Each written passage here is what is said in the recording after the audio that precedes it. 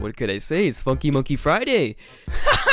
Look at those stupid monkeys go. Man, don't you just love monkeys? yeah, me too. Oh, they're looking at me. Funny monkeys, what are they gonna do? What the? Oh!